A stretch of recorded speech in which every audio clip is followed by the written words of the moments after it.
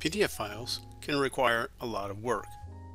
Building structure into them is essential for those using screen readers and can help those who are navigating a large document. Page numbers are essential because providing navigation points will help generate structure for the reading experience. Blind researchers and students need to know what page of an article or book they are citing so that the page numbers have to be accurate. In this case, I have a article here with five pages.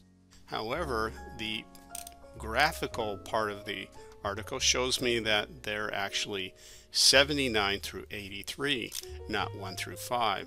So when a researcher is trying to find what page to cite and they want to navigate in the document, they need to have this changed. So I'm going to show you how to do that. Click on this arrow, come up to thumbnails, and then you click this drop down, go to page labels, and then you're going to change this pages to all and change the numbering sequence to start at 79. And once I click OK, you'll see up here that the, the page that was number one is now syncing up with 79. And if I go to the next page, which has no page number, if I go to the next page, you see it says 81 N it says 81 up here.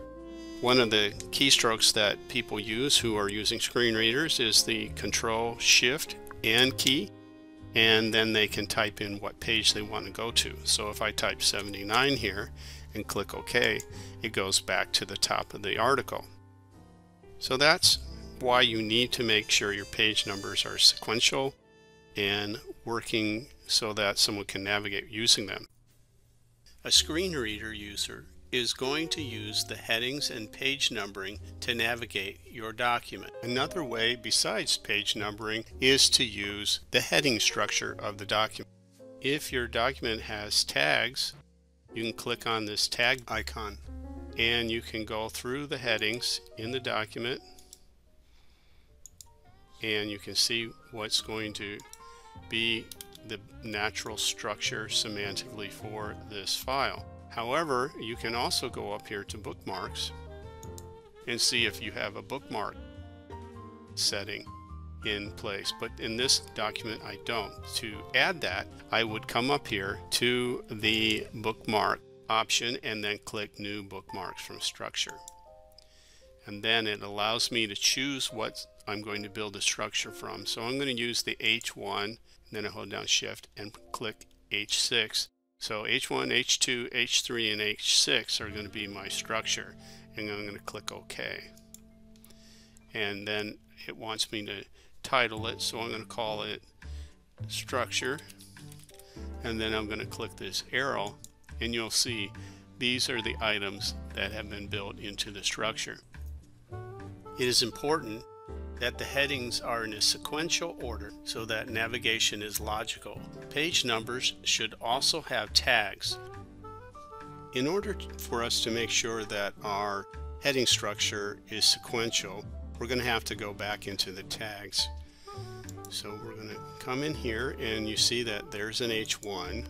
It should be followed by an H2 and there's an H2. Here's another H2 abstract and then next is introduction.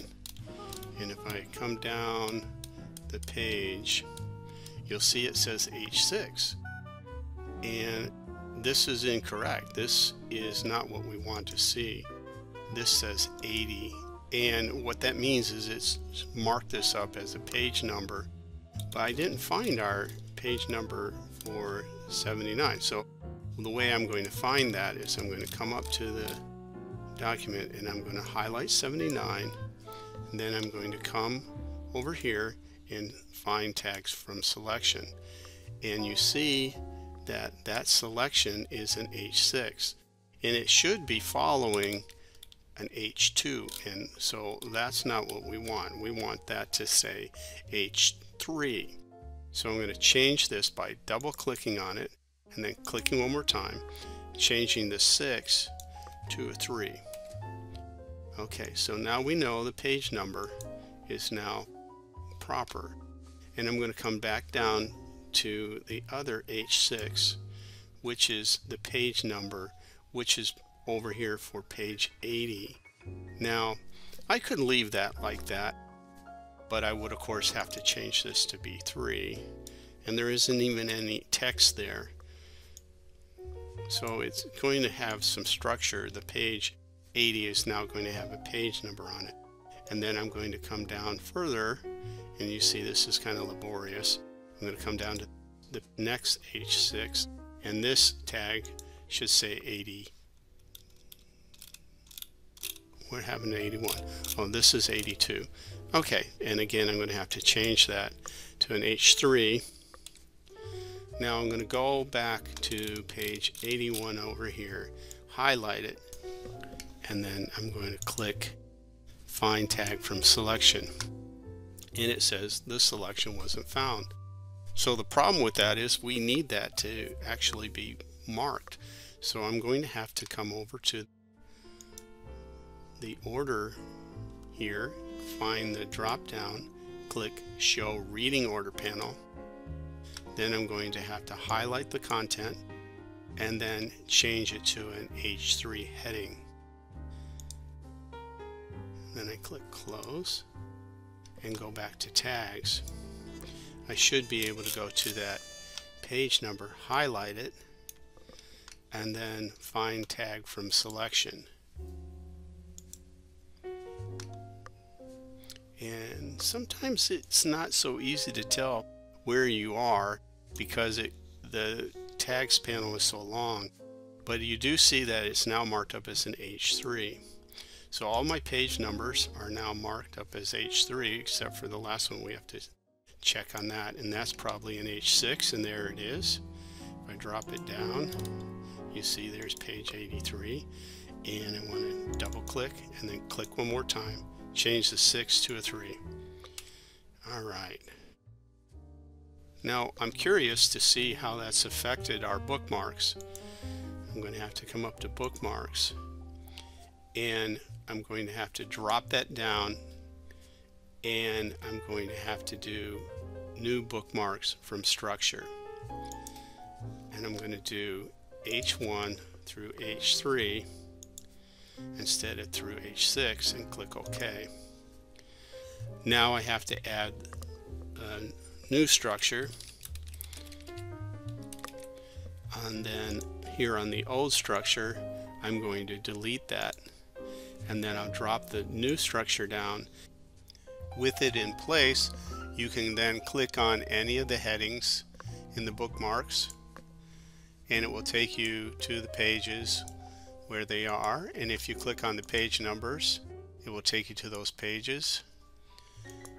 And you see that any of these H3 headings, though there isn't actually an 82 here, page number, there's no 82 on this page, it takes you right there. So if I start from 83 and then go back to 82, it's flipping the page.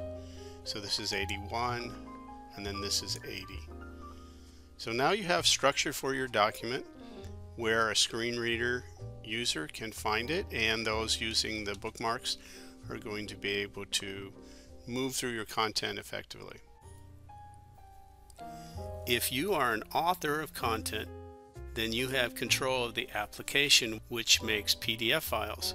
But when you are not, you may need to check the accessibility of the file. Fortunately, Adobe Acrobat Pro provides the accessibility checker. There are two paths by which you can find the accessibility checker.